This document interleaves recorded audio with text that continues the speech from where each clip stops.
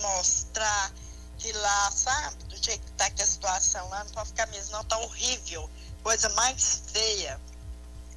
A coitada da barredeira vai lá, tira a sujeira todinha lá, eles joga tudo de novo.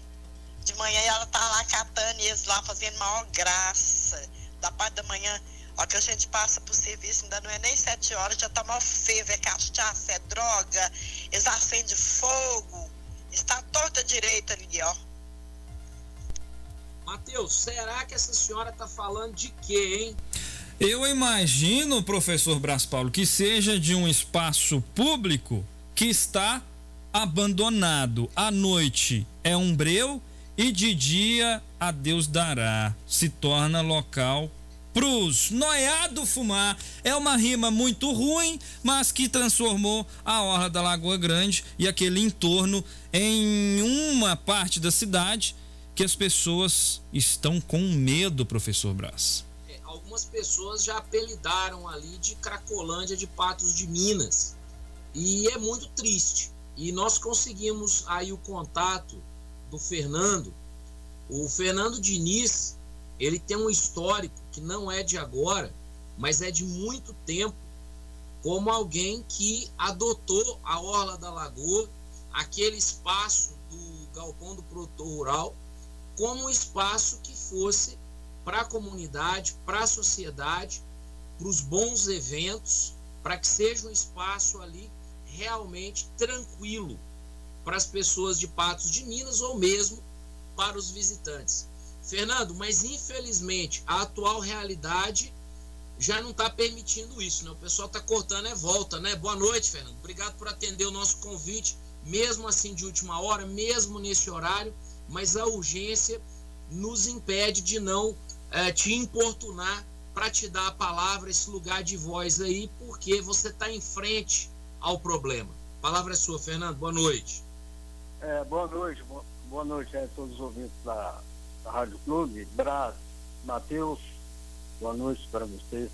É, é, é, um caso que o mínimo que a gente pode fazer é, é divulgar e chamar a atenção das autoridades, né, para que façam alguma coisa, porque é um absurdo isso aí que a gente está presenciando aí, é, tá fora do comum. Porque essa lagoa já teve muito ruim, rodoviária, tudo já, só que agora piorou.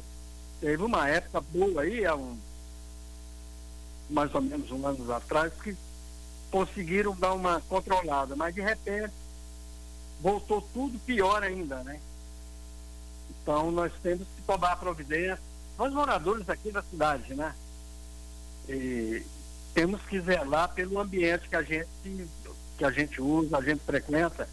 Então eu peço muito ao povo que ajudem né, a tomar providências, cobrar das autoridades.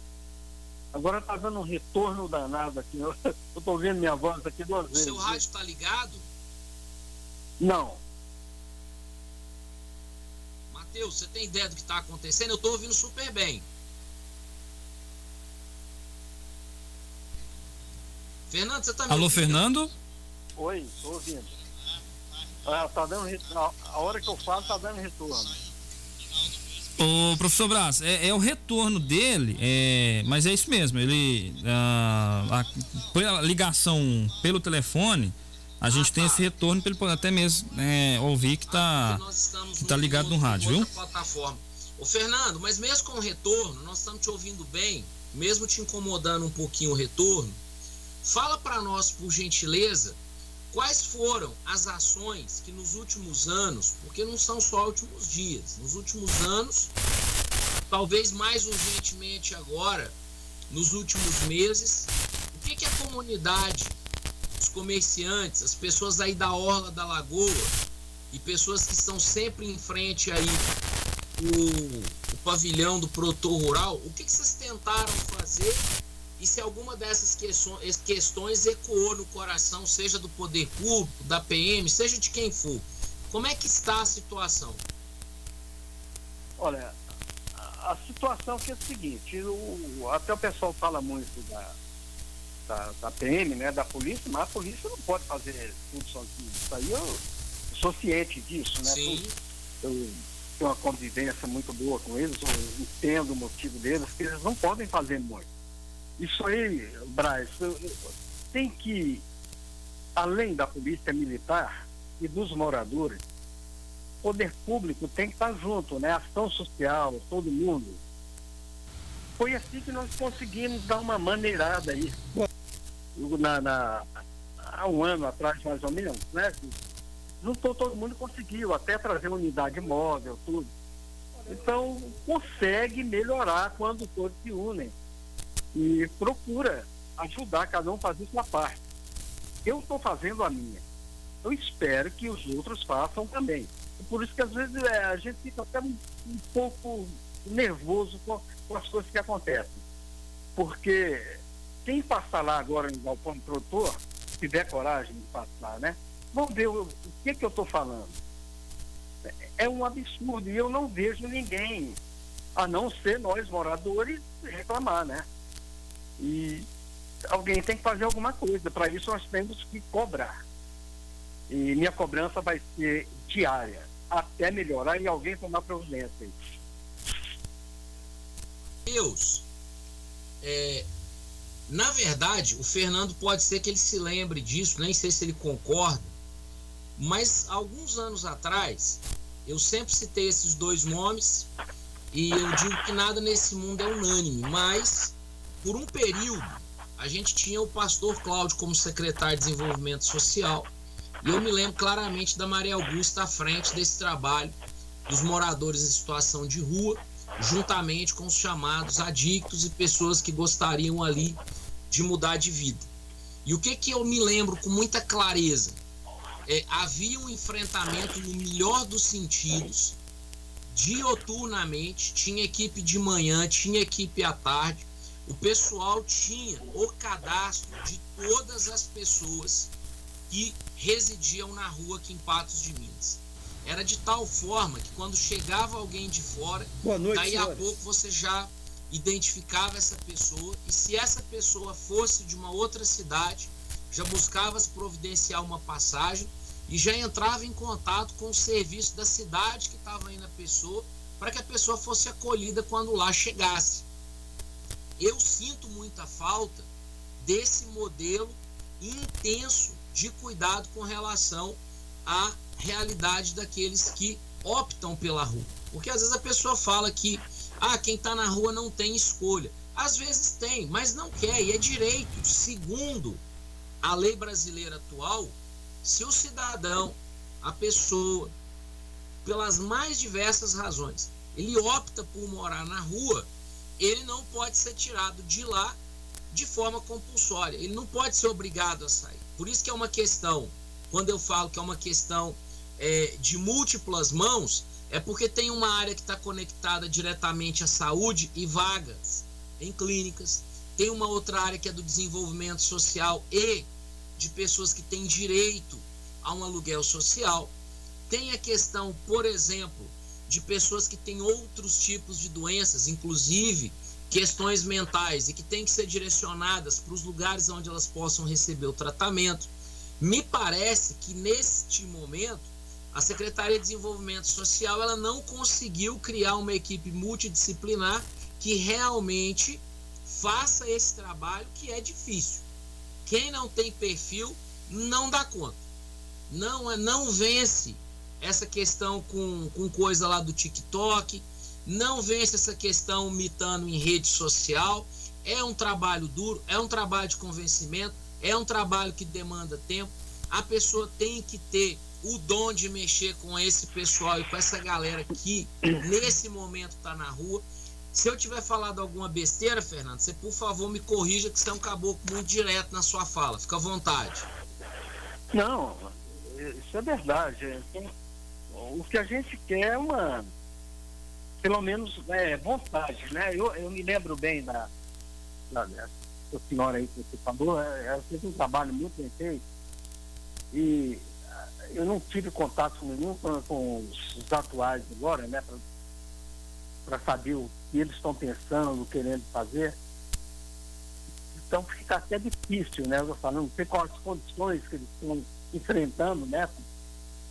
Para não estarem tomando providências, aí fica difícil eu falar alguma coisa. Agora, o que eu tenho, preciso falar, é cobrar para que toda a população e todas as autoridades daquele paciente fiquem tomando conhecimento do que está acontecendo. Porque no passado aí nós conseguimos melhorar isso aí bastante, porque os moradores lá, os empresários se uniram, nós fizemos o máximo, inclusive a polícia militar. Eu falo muito da polícia militar porque ela ajudou muito. Nós fizemos o possível com, com, com o pessoal da polícia militar. É, é, fizemos, é, como é que se diz? É, colocamos até luvas para o é, pessoal andar de bicicleta lá, o, os guardas, né? É quando você estava à frente do CONCEP, né, o, e Fernando? apoiando, demos o maior apoio para eles e fomos correspondidos. E eles também conseguiram acabar lá, na época até do coronel Valdemir, na época, né? Ele deu maior apoio. O coronel Valdemir, eu fiquei sabendo que ele saía de madrugada aí para verificar como é que estava aquela orla. Então teve um, uma paz durante pouco tempo, né? Agora voltou com força total. Agora, sobre a prefeitura, eu não posso falar nada, eu não estou vendo nada, ninguém fazer nada. Eu estou sabendo que tem, às vezes chega até algumas mãos aí, ou ando com, com alguns expedientes e esteja lá perto, né? Então, acho que está faltando um pouco de vigilância. E ah, na rodoviária também, colocar pessoas para tomar conta aquele galpão do produtor tem que ser feito alguma coisa, tem que cercar aquilo lá, tem, tem que imaginar alguma coisa e fazer. As pessoas têm que procurar fazer, não é ficar só no blá blá blá, entendeu? Vai lá, olha, durante dois, três dias, beleza, daqui a pouco volta tudo outra vez. E é por isso que eu falei que tem que ter alguém de pulso firme que pegue isso aí e resolva esse problema. E para isso aí, eu vou estar atento e vou conversar com todos os moradores, vizinhos, empresários que estão lá perto, para que a gente cobre e eles resolvam, que isso é uma obrigação deles. Eles são pagos para isso, para cuidar das, da, da segurança do cidadão. Então, a gente não está vendo retorno, não, tá? Isso é importante que, que eles prestem atenção. Depois não acho que é único da população começar a falar mal de fulano, cigano, sei lá de quem. Entendeu? Tem, tem uma é questão é que aí, Matheus, resolva algum problema. Que me preocupa. Porque é o seguinte, quando o poder público vai se omitindo, vai se omitindo, vai se omitindo, uma hora passa ali uma adolescente, passa uma criança, alguém mexe com essa pessoa, um pai um pouco mais irritado, mais irado, alguém aí que tem acesso, né, inclusive a arma de fogo, pode cometer ali uma, uma catástrofe, uma tragédia. Sem dúvida. Coisas que poderiam ser evitadas. Faz muito pouco tempo, Fernando, eu presenciei algumas cenas ali muito tristes. E um dos pontos que você coloca, que são fundamentais, né, a ideia do galpão aberto como ele está, ela é muito boa do ponto de vista uh, inclusive da, da, da, dinâmica, da logística, porque quando o pessoal tiver que chegar para montar a feira ou montar ali qualquer tipo de atividade, é um espaço que você tem entrada por todos os lados. Por outro lado, já deveríamos talvez estar tá pensando que um gradil ali fosse necessário, um gradil bem feito, bem construído, que tivesse também, se possível, é, uma vigilância porque é uma questão que é de saúde pública, é uma questão de segurança pública e é uma questão que se ninguém fizer nada, isso, isso é da sociedade, viu, Matheus? Quando o poder público se omite, se omite e vai se omitindo, num dado momento de raiva, de frustração, de desespero, o cidadão comum vai e faz alguma coisa. E normalmente, quando é o cidadão comum, o resultado é trágico, porque ele não está preparado para esse tipo de enfrentamento.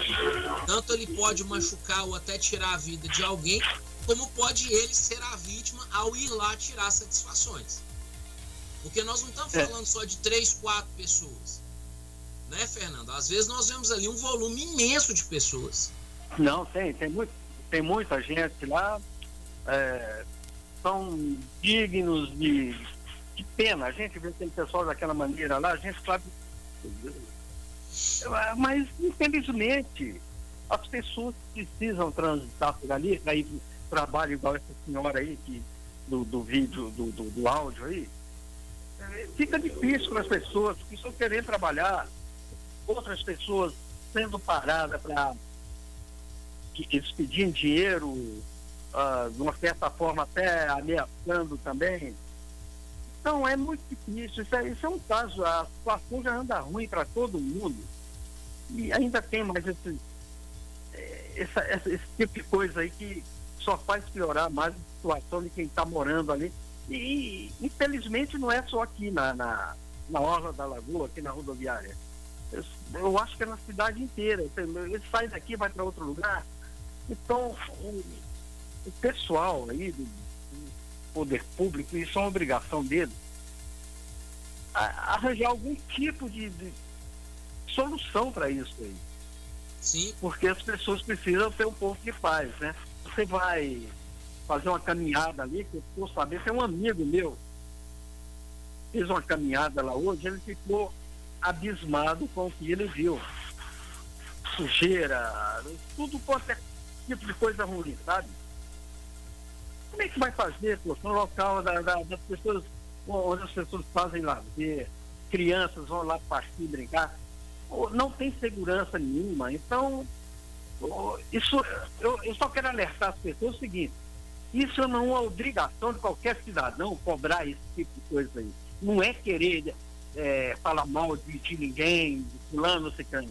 É só querer que eles exerçam a, o dever deles e cuidem da cidade e dos locais que as pessoas usam.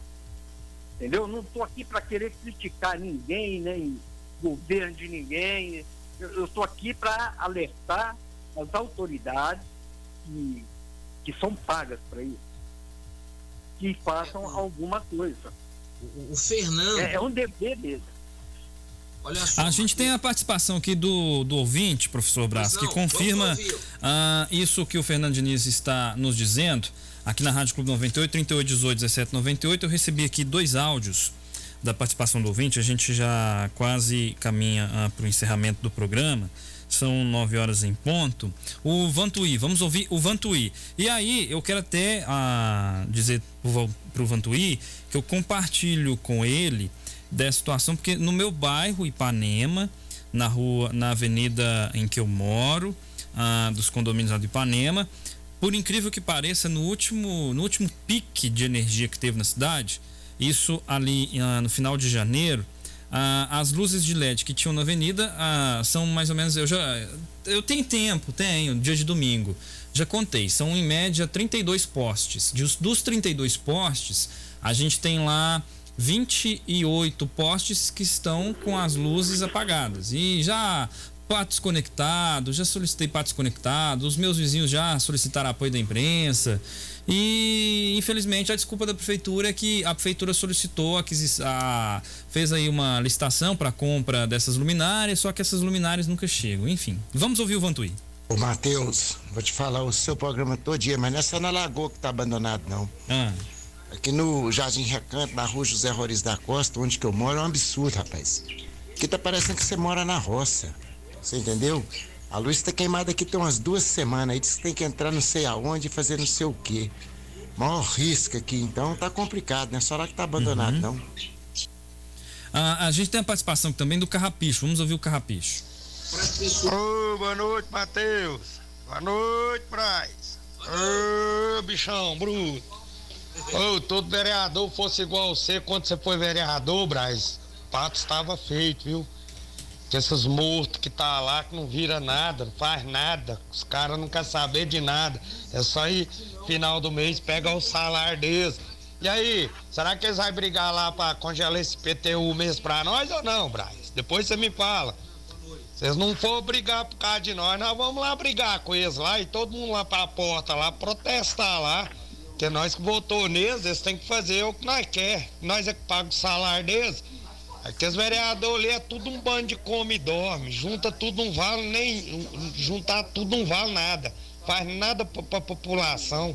Só pegar o salário deles, tá em dó. Ô, oh, é covardia com os eleitores, viu? Mas eles não esquecem, não. Eles não vão esquecer, não, porque tem mais eleição, né? As próximas eleições que for tentar a reeleição, vem cá na porta da minha casa me pedir voto pra ver. Toma a mão no beijo aqui. Abração pra vocês dois aí, Padrinho Braz. Alô, Matheus.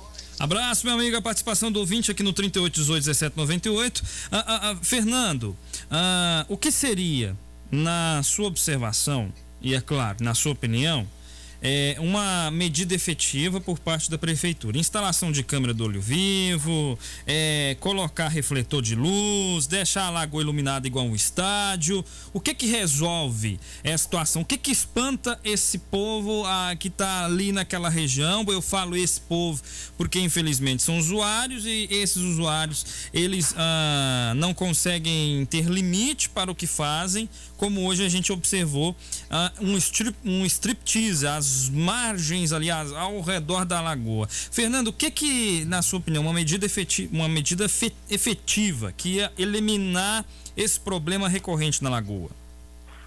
Ah, algumas dessas coisas aí que você falou, até que resolveria em parte, né?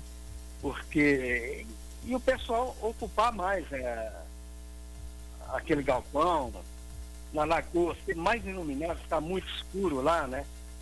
E colocar vigilância. Tem que ser colocado vigilância ali. Eu, eu, não sei, eu espero que, que alguma empresa aí é, adote aquela lagoa lá e terceirize, seja qualquer coisa dessa que eu estou falando aí, que eles consigam colocar vigilante. Ali precisa. Não tem iluminação, onde está iluminado, o pessoal não vai. O galpão do produtor é para estar iluminado, não sei se está lá agora. Mas colocaram lâmpada lá, desliga é, durante a noite inteira. Tem dia que liga e tem dia que não liga. Agora não sei como é que está lá agora. A única coisa que eu sei que está lá é uma, uma bagunça incrível, parecendo até uma Cracolândia mesmo, né? Uma coisa absurda, que ali perto daqueles hotéis ali, né? Atrapalha muita gente. Rodoviária, gente, pelo amor de Deus. Rodoviária, a pessoa para entrar lá, teve uma época lá que a gente tinha medo de entrar e melhorou, terceirizou, ficou bom. De repente começou a voltar tudo outra vez, agora tem muita coragem para entrar lá. Então, são medidas que existem na, na, no poder público, técnicos que, que eles estão lá e estudam para isso, né? Já é um problema eles vão ter que fazer. Eu, no meu caso, não, eu não, não entendo bem disso. Eu quero que eles resolvam o problema.